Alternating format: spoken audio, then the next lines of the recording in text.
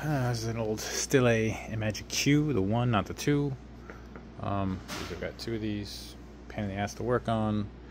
One's got a whole electrical issue, just power cord fucked up and fried everything. Fucking transformer, the power supply, the batteries are shot. Whole power entry module, everything's fucked on that one.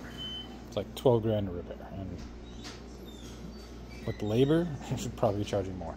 This one is a little bit easier. So far, this is just a busted hose in the lift cylinder. This guy up here. Now, replacing it is a bit pain in the ass. If you don't have a forklift, you can try to pick it up and put it on blocks or something, but it's gonna be a problem. Uh, which is why I'm on a forklift. Isn't that fun? So ultimately, disconnect shrouds, pick up. These are a pain in the ass to take off. Still these crap. See all these fucking screws? 60 million screws to take off each shroud, each piece to get to the fitting in there. That one's not so bad. Just a compression fitting. Fortunately, the other side is a banjo fitting. So to get to that, if you've noticed the mess you've got here, this is your pump and manifold block.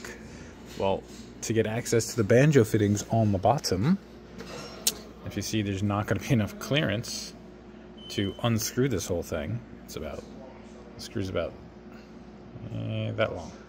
So you've got to pull the whole pump. To get that out, if you see these holes, go down here, it's two 3 16ths uh, bevel-headed hex or Allen key screws, pull those out, and then you can pull the whole pump up to get access to the actual banjo fitting, and then bring everything back.